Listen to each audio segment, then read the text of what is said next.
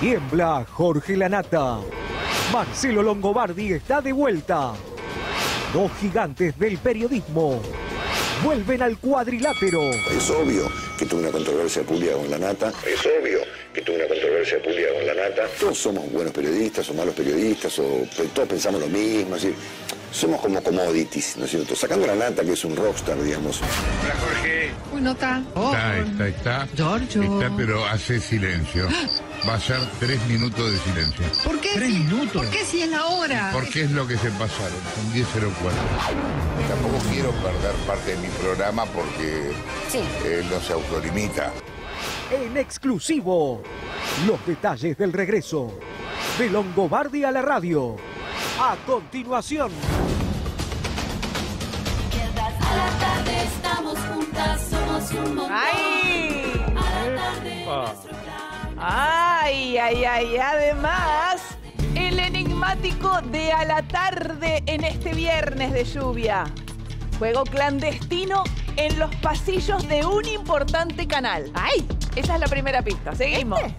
Parece que en los cortes, en la previa y hasta en el post del programa, escuchen bien, pinta la timba. ¡Ah, la flauta!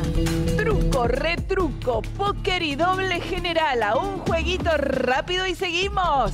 Y hay alguien, un famoso, famosísimo, que la está rompiendo. Con estos juegos está construyendo su sueño. Ay, ay, ay, ay, ay, Diego Esteves. Se va a hacer un festín con todo esto. Hola amigos, amigas, ¿cómo les va? Bienvenidos, bienvenidas, feliz viernes para todo el mundo. Aquí comenzamos a la tarde, estamos juntos hasta las 18 horas. El enigmático de la tarde es una preciosura. Fíjense toda la información que tenemos que ya en la venta del programa en off ya tiramos algunos datos. ¿eh? El enigmático de la tarde, juego clandestino en pasillo de importante canal. Enseguida Diego Esteves va a ampliar. Antes quiero saludar a mis compañeras y ¿Cómo va? compañeros hoy. ¿Cómo andan? ¿Todo bien? Todo muy Dianita, bien. Diego, preparado para el enigmático del día? No sabes. Corita, ¿cómo andás? Muy bien. Bienvenida, señora Marcela Coronel. ¿Cómo estás? Muy Gracias bien. por invitarme. Por favor, hacía mucho que no nos veíamos. Me encanta que estés hoy acá con nosotros. Muchas gracias, gracias por la invitación. Por favor, un placer. Bueno, vamos a arrancar entonces con este tema que vendimos al comienzo. Ay, una lucha de vedettes. Tal cual. Una lucha de vedettes. Tal ¿eh? Y son dos importantísimos periodistas. Estamos hablando de La Nata y Longobardi. Y parece que lo- Longobardi hizo una jugada maestra. ¿Quién tiene un poquito de información para ampliar? Bueno, lo que había anticipado Longobardi, por lo menos así lo dijo en su último programa de radio, que fue el año pasado, él estaba en Radio Mitre, había dicho, chicos, yo me tomo un año sabático, no esperen nada de mí porque realmente quiero descansar, aunque sea radialmente. Es lo que él había dicho, pero llamativamente en los últimos tiempos nos enteramos de algunas reuniones, de algunas negociaciones. Recordemos que Longobardi tenía muy mala relación con la Nata, Sí. porque el problema del tiempo que le entregaba 10.04 era algo que lo ponía de la cabeza a Jorge, por eso esos silencios que hacía cuando comenzaba su, su programa y era algo que no le caía nada bien. Eh, y lo que Longobardi había hecho fue radicarse eh, e irse a vivir a Estados Unidos. Sí. Entonces era como que dijo, bueno, me voy a vivir a Estados Unidos, año sabático en radio, pero sin embargo hay un anuncio que seguramente se va a hacer en las próximas horas sobre un regreso. Un regreso. Me encanta lo dejas y Corita. Sí, Diana. un regreso que trajo problemas contractuales con su anterior radio.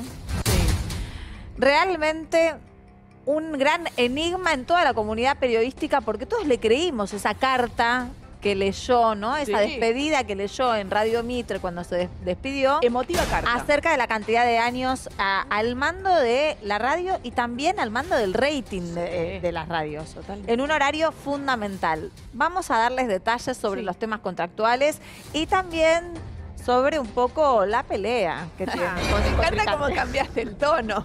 Sí, Marcela, dale. No, y también eh, sobre la jugada que hizo, ¿no? Porque, como decía Corita, esta pata en los Estados Unidos, él la utilizó mediáticamente para decir a los 60 me reinvento. Sí. Muchos medios tomaron sus palabras para hablar ¿no? de, de las vueltas que uno puede tener a determinada edad con su carrera, con sus Sí. proyectos, para volver a lo mismo, es la pregunta, Eh, ¿no? Totalmente. Además, parece que en su horario, desde la CNN, competiría con el horario en donde él fue estrella durante un montón de años, Diego.